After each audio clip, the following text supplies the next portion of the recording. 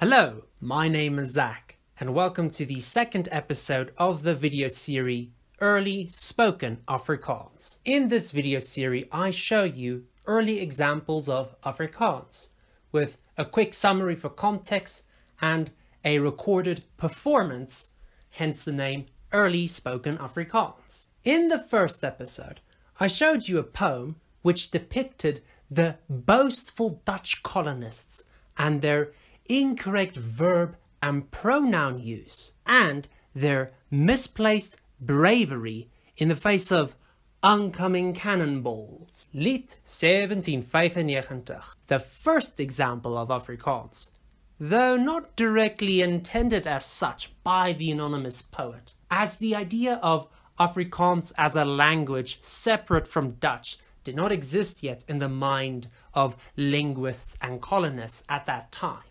But something did start happening in the Cape Colony in the 1830s. People started noticing the difference between the spoken Dutch in the Netherlands and the spoken Dutch in the Cape Colony. People began documenting this dialect spoken amongst the inhabitants of the Cape Colony. And one striking set of examples documenting this dialect, this early example of Afrikaans, appeared as rebuttals, counter arguments against criticism from an English missionary who criticized the Cape Colony's inhabitants and their magistrate. Reverend Dr. John Phillips a Scottish minister from Aberdeen, was a civil rights activist who lobbied for indigenous and coloured people's rights in the Cape Colony. Dr. Philip was, in short, a very controversial man. On the one hand, he inspired philanthropic sentiment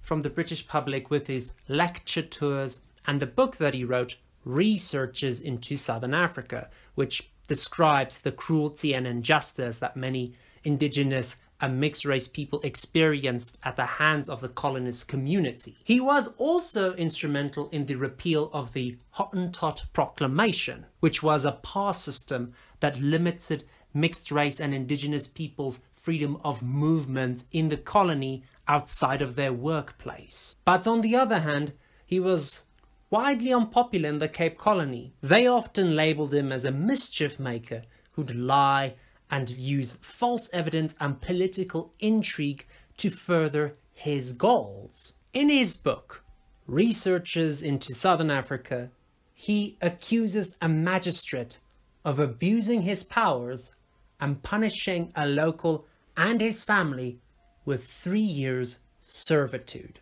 Let's check that out. Conduct of the Landdrost of Somerset. The Landdrost of Somerset had some time previously sent a Hottentot with his wagon to bring him some goods from another village. Unfortunately for the Hottentot, there happened to be a small cask of Cape brandy among the goods. And in other respects, a useful and faithful servant, he could not resist the temptation thus placed within his reach. He tapped the barrel and drank part of the liquor. The theft was readily discovered and the culprit was punished by flogging and imprisonment. Most masters would have been satisfied with this, but not so this worshipful magistrate.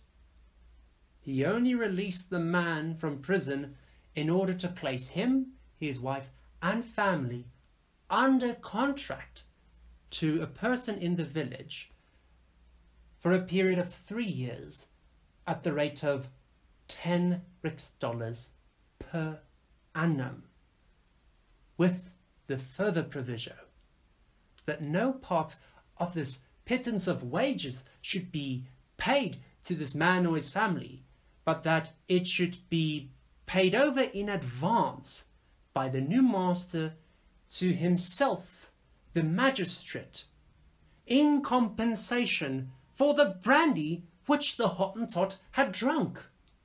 This book and the many accusations within it sent the Cape Colony into a frenzy. The mentioned magistrate W. M. Mackay from Somerset went and pursued a libel suit against Dr. Philip for the amount of £1,000. This court case was closely followed by the public in the newspapers, and this led to an example of early Afrikaans, a letter written by Adam Slokker to his uncle Oom Kavido, questioning the various accusations made in Dr. Philip's book.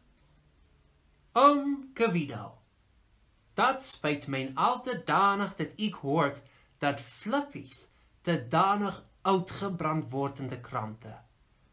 Hulle zag dat hij zo banje logens geschreven heeft in een boek. Rag, oom ik is altijd danig jammer voor Flippies, Maar dat zeg ik, als dit waar is, dan is hij maar wat hulle zag.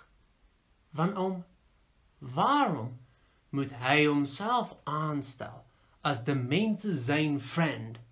en dan nog van hulle in kwaai boek gaan maak.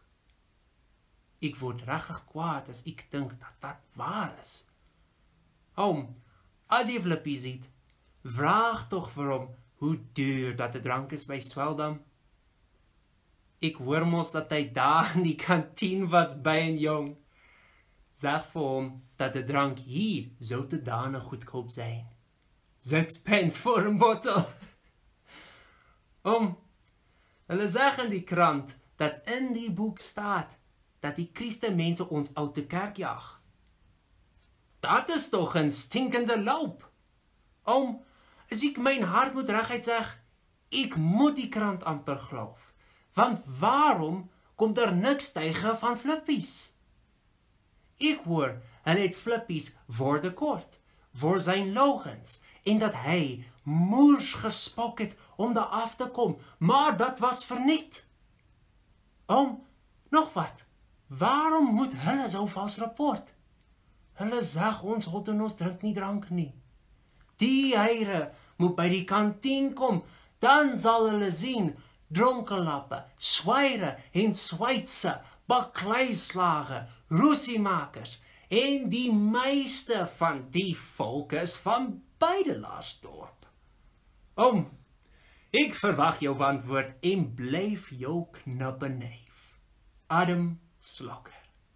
The news editor of the newspaper De Zuid-Afrikaan, a Charles Boniface, was heavily against the portrayal of the colonists and the indigenous people in John Philip's book. He was so against John Philip's portrayal that he once referred to his book Researches into Southern Africa as libel on South Africa. But here is where this story becomes very intriguing. The person mentioned to have been forced into servitude, a Hendrik Kok, was tracked down by Boniface, and he published in the Zuid-Afrikaan a two-part interview wherein Hendrik refutes Dr. Philip's accusations against Magistrate McKay. Hendrik proceeds to tell his recollection of the events, and with this interview, we get the perfect example of the interviewer speaking Dutch whilst the interviewee answers in Afrikaans.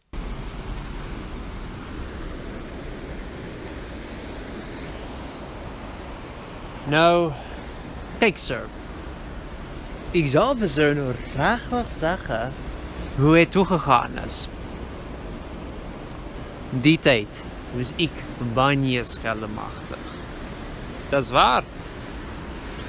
Ik was die tijd bij een Moonjoy verried. Op een dag moest ik met zijn wagen een halve brandewijn naar Somerset gaan brengen. Nou, een mens is toch maar een mens. Ek was so alleenig. So Christus heel alleenig. Geen maat, om hom buite met te praat langs die pad. En dors kry gekook daarby. Ja. Wat sal 'n mens doen? Ek dink so in my enigheid. Daar is brandewyn in die vat. Ik had zo'n horing bij mij. Weet Zo'n Zo'n beestenhoring had ik bij mij. Ik is heen gegaan en een bijtje van die brandewijn getapt. Maar nu een banje, niet. Zomaar een horingval en toegedronken. Ja! Naderhand, witser, ik, nog een beetje gedronken. Ja, En ja, toe kry ek eers lus om te drinke want die brandewyn oh, smakkel te danig lekker. Further in the interview, Hendrik is asked about the magistrate's reaction to the theft of his cognac and whether he was as cruelly punished as described by Dr. Philip, to which he responds Nee, geen slag of stoot het ek van hom gekry. Anders nie as dat hy my na 'n tronk gestuur het al.